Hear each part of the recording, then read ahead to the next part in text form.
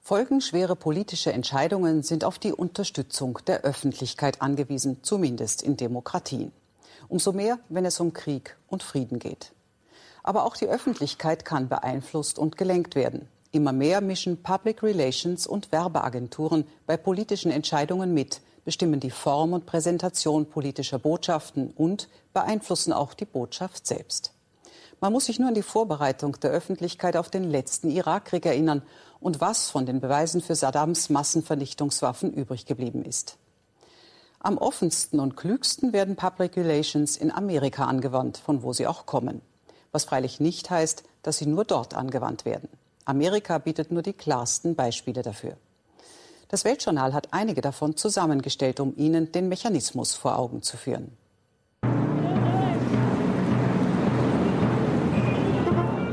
Axis of evil. Weapon of mass destruction activities. They could provide these arms to terrorists. After September 11th, it is a certainty that the Al Qaeda network is pursuing such weapons. Giving up once and for all its weapons of mass destruction. If this is not evil, then evil has no meaning. Der deutsche Kommunikationsforscher und Politologe Jörg Becker hat sich intensiv mit Krieg und Propaganda beschäftigt. Ich denke, solche Bildmetaphern, aber auch solche Wortmetaphern sind ganz entscheidend äh, für die Bedeutung einer großen Medienkampagne, sei es im Krieg oder sei es bei der sonstigen Berichterstattung. Du musst es schaffen, mit ein, zwei Begrifflichkeiten sozusagen Markierungen zu verteilen, damit dann der Rezeptionsprozess beim Zuschauer eigentlich dann von alleine läuft. Ich sage ein gegenwärtiges Beispiel. Du brauchst eigentlich das Wort Islam nur zu sagen. Der Zuschauer hat von alleine die Assoziation Terrorismus. Hier, hier sind Prozesse in einer großen Kampagne losgetreten, die von alleine laufen. Und natürlich und selbstverständlich ist genau das das Entscheidende in einem Krieg. Das Problem für kritische Journalisten besteht ja dann, wenn an der sogenannten Heimatfront die Gleichschaltung erfolgt. Das ist zum Teil in den USA der Fall gewesen, aber das war ja wesentlich stärker 1991 im Krieg so. Das war ein Krieg gegen Saddam Hussein, den man führen musste, um Kuwait zu befreien. Da gab es weltweit eine einhellige Meinung. 10. Oktober 1991. Zeugenberichte aus Kuwait vor dem Menschenrechtsausschuss des US-Kongresses. Als ich dort war, kamen irakische Soldaten ins Krankenhaus. Sie rissen die Babys aus den Brutkästen und ließen sie auf dem kalten Boden sterben. took the incubators and left the children to die on the cold floor. Die tränenreiche Aussage der jungen Krankenschwester war die Basis für das Ja des US-Kongresses zum Krieg und für die entscheidende Resolution der UNO. Was zunächst auffällt und was völlig klar ist, es geht hier um Dämonisierung des anderen, des Bösen und des Feindes. Und natürlich läuft Dämonisierung am liebsten und am besten mit dem Motiv unschuldiges kleines Baby. Wir kennen das historisch schön sozusagen auf Postkarten und Karikaturen im Ersten Weltkrieg zu finden, wie äh, französische Soldaten mit Bajonetten deutsche Babys aufspießen. Also, das ist ein bekanntes Thema von Kriegspropaganda. Der entscheidende Unterschied zum Ersten Weltkrieg besteht darin, dass das keine vereinzelten Versuche sind, wie damals im Ersten Weltkrieg, sondern heute Kampagnen sind, wo eine Regierung eine PR-Firma beauftragt, hör mal, ich brauche eine Kampagne, wo mein Gegner verteufelt wird. Und dann wird gegen viel Geld professionell eine solche Kampagne hergestellt. In diesem Fall und in diesem Beispiel im Übrigen ja sogar mit einer Bürgerinitiative, die extra gegründet wurde von einer Public Relations Agentur. Man muss sich das vorstellen. Der Krieg zur Befreiung Kuwaits war beschlossene Sache. 11 Millionen Dollar hatte die Werbeagentur Hill Knowlton von der Regierung Kuwaits kassiert, um die Amerikaner und die Welt einzustimmen. Die Bürgerrechtsbewegung Citizens for Free Kuwait war ebenso Werk dieser Agentur wie wichtige Zeugenaussagen. Der sogenannte saubere Videokrieg flimmerte über die Fernsehschirme.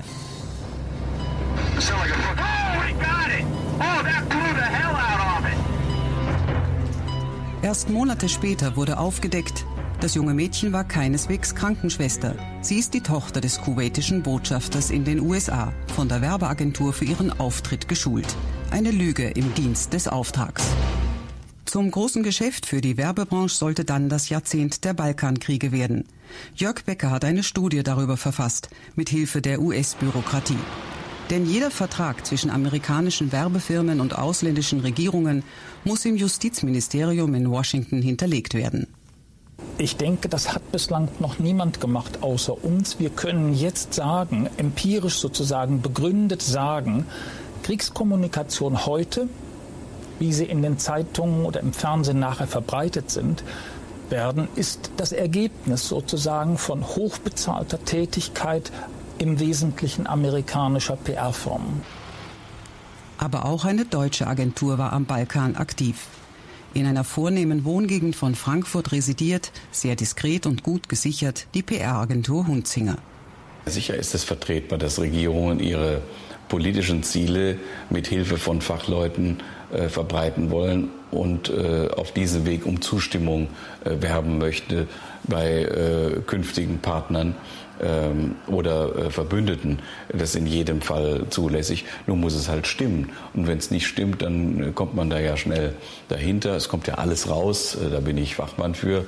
Ich habe auch im eigenen Bereich das schon erlebt. Und ähm, dann beschädigen sie ja ihre Arbeit. Der blutige Zerfall Jugoslawiens hat komplizierte historische Ursachen. Als Hauptschuldiger steht heute der skrupellose serbische Nationalist Milosevic in Den Haag vor Gericht. Ein begabter Demagoge daheim scheute Milosevic die internationalen Medien. Seine Kriegsgegner dagegen sicherten sich schon früh professionelle Beratung. Bilder aus dem Lager Trnopolje wurden verknüpft und verstärkt mit Begriffen wie Konzentrationslager und ethnische Säuberung. Begriffe, auf die Amerika besonders sensibel reagierte. Newsweek hat eine Titelstory über Konzentrationslager. Als das in Amerika bekannt wurde, war da plötzlich ein neues Bewusstsein. Viel stärker als vorher. Alles begann sich aufzuschaukeln. Ich denke, so funktioniert Erziehung und Information. Die Leute waren alarmiert, besonders die Kongressmitglieder und die in den Außenpolitik Politikausschüssen, im Außenministerium und in den Thinktanks in Washington. Dieser ausgemergelte Mann hinter dem Stacheldraht, das waren Bilder, die nicht von einer PR-Firma gemacht worden sind. Das waren Journalisten, die vor Ort berichtet haben. Unser Job war es, für mehr Lautstärke und Geschwindigkeit zu sorgen und zu sagen, haben Sie das gesehen?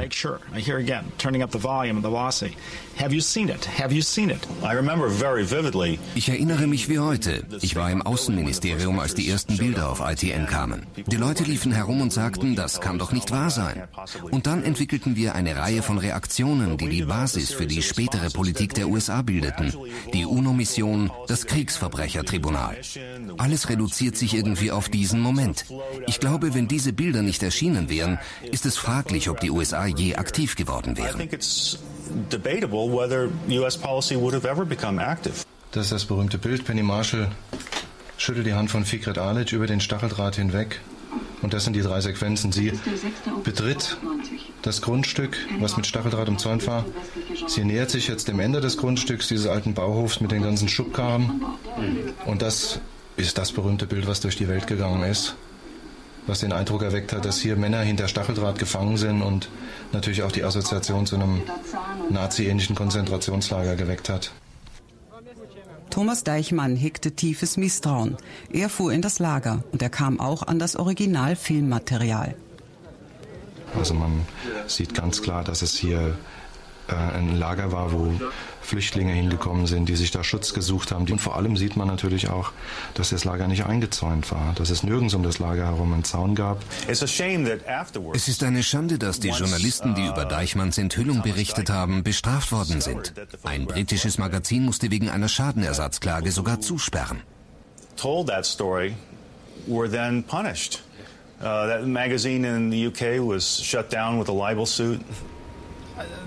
Dafür gibt es überhaupt keinen Beweis, meiner Meinung nach. Ich denke, kein Mensch ist perfekt. Fehler werden gemacht, manchmal sogar mit Absicht. Aber schauen Sie sich doch das gesamte Bild an.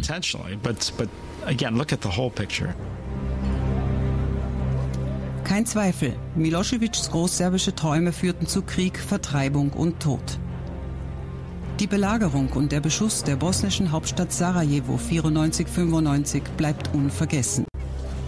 Ebenso später die Einnahme der Moslem-Enklave Srebrenica unter den Augen der hilflosen UNO, die Vertreibung und Ermordung vieler ihrer Einwohner.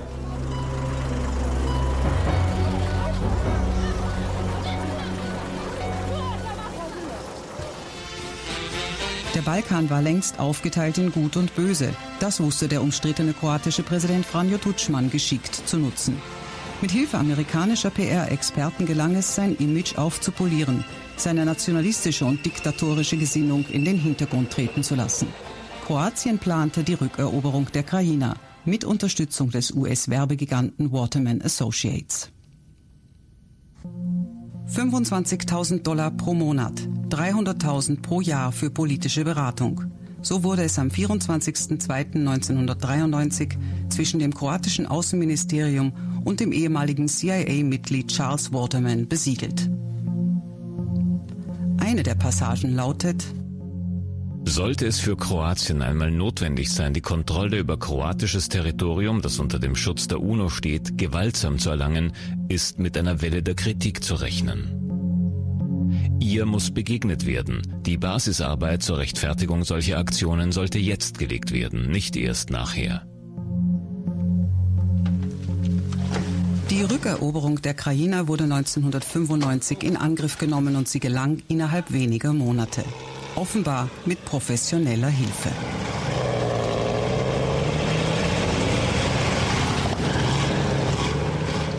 Ja, äh, die Bilder hier sind spannend aus folgendem Grund. Sie zeigen Panzer bei der Operation Sturm und man muss bei dieser Operation wissen, dass es hier ein ganz geschicktes Zusammenspiel gab. Einmal von privatisierter Information, das ist also die Argumentation mit den PR-Firmen. Und bei dieser Operation kommt parallel noch was anderes hinzu, nämlich es ist eine Kriegsführung von privaten Söldnerfirmen. Das heißt, wir haben im jugoslawischen Bürgerkrieg in Operation Sturm steht paradigmatisch dafür, eine Privatisierung sozusagen nämlich der Kommunikation und der Kriegsführung. Dieses hat enorme Konsequenzen. Privatisierung von beidem heißt ja demokratischer Kontrolle entzogen. 200.000 Serben wurden von den Kroaten aus ihren Siedlungsgebieten vertrieben, Tausende getötet. Es kam wieder zu langen Flüchtlingstrecks, zu vielfachem menschlichem Leid. Die mediale Aufregung über die ethnische Säuberung hielt sich in Grenzen. Die Rückeroberung geschah mit Rückendeckung des Westens.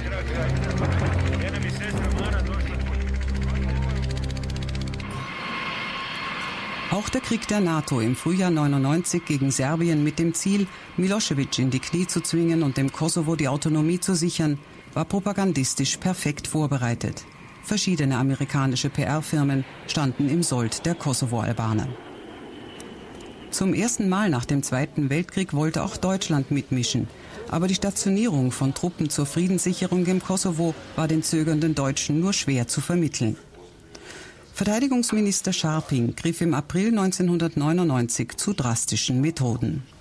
Ich habe gar nicht damit gerechnet, dass man einen fotografischen Beleg dafür bekommen würde, dass äh, man die Menschen, äh, die man äh, umgebracht hat, nach ihrer Ermordung dann auch noch äh, mit äh, Baseballschlägern traktiert, um sie für ihre Angehörigen äh, völlig unkenntlich zu machen und im Übrigen auch einen unglaublichen Hass und eine unglaubliche Gewaltbereitschaft sogar noch an den Leichen auszutoben.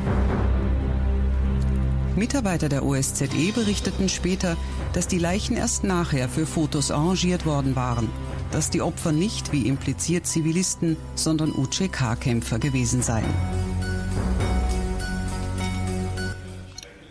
Scharpings Freund und Berater war zu dieser Zeit Moritz Hunzinger, der später auch den Sturz von Slobodan Milosevic vorbereiten half. Da ist so viel Unglück äh, passiert, dass man sich mal bei dem Herauspicken eines Beispiels irren kann und den Bogen überspannt.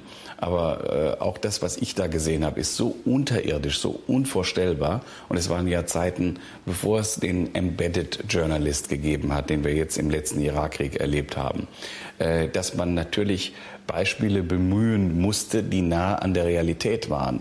Und äh, die genannten Beispiele waren ja sehr nah an der Realität. Und das ist ja das, was auch dann dazu geführt hat, dass der Bundesminister Scharping mal ein solches Beispiel rausgegriffen hat.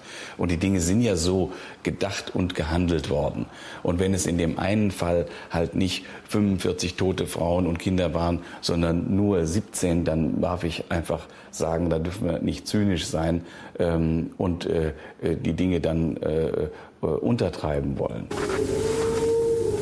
Als Belgrad bombardiert wurde, mobilisierte Hunzinger seine exzellenten Kontakte zum Vier-Sterne-General Klaus Reinhardt, um zu erreichen, dass die Tochterfabrik seines Kunden Messer Griesheim in Belgrad von den NATO-Bomben verschont wurde.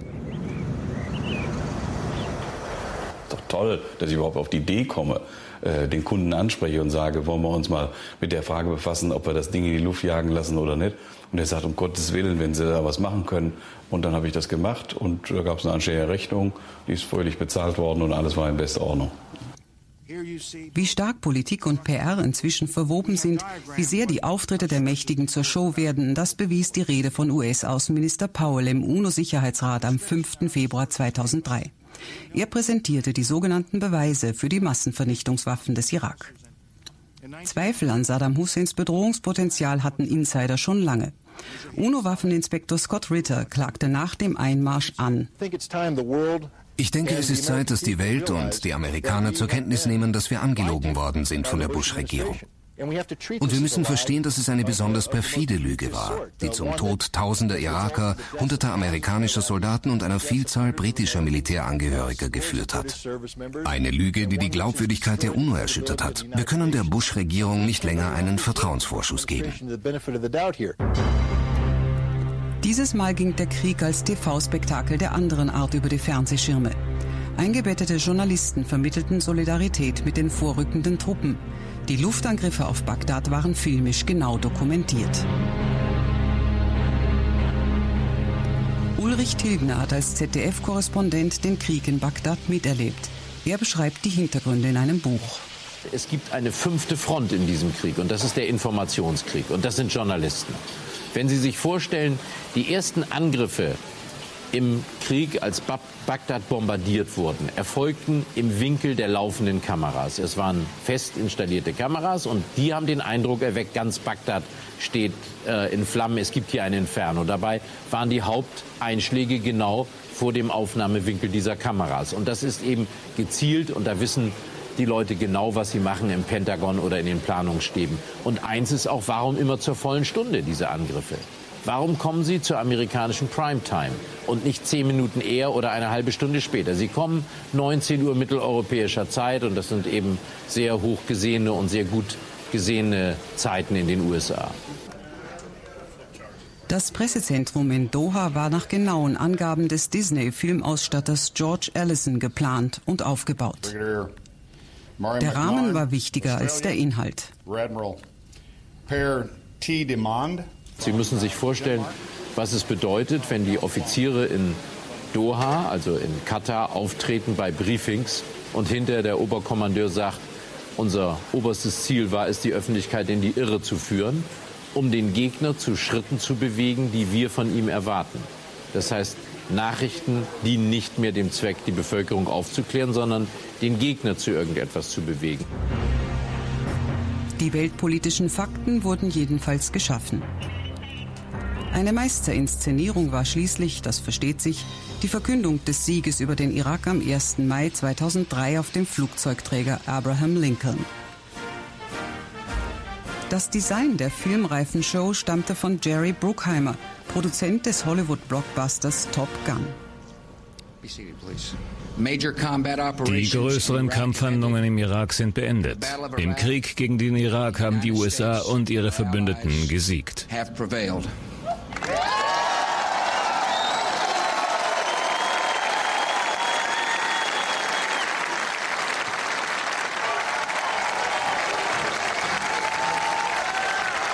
Können die Medien diesen professionell verzahnten Kreislauf aus Politik, Wirtschaft, Militär und Kommunikation überhaupt noch durchbrechen? Man kann ihn durchbrechen dadurch, dass man ein Thema hintergründig spannend darstellt. Das Publikum hat Interesse.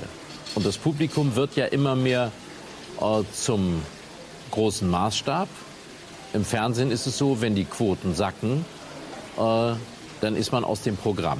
Und ich glaube, eine bestimmte Form der Berichterstattung führt auch dazu, dass man auch über vergessene Konflikte berichten kann. Die Leute sind grundsätzlich interessiert. Ich halte nichts von der These, dass das Publikum dumm ist.